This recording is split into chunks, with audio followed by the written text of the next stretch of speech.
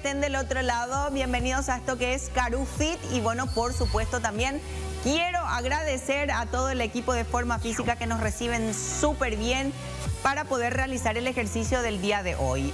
Vamos a trabajar con mancuerna rusa vamos a realizar buenos días, no vamos a trabajar este ejercicio con ningún otro peso en particular ni con el palo de escoba para poder corregir el movimiento, sino que ya vamos a ir a la ejecución correcta con este peso puntualmente. Y...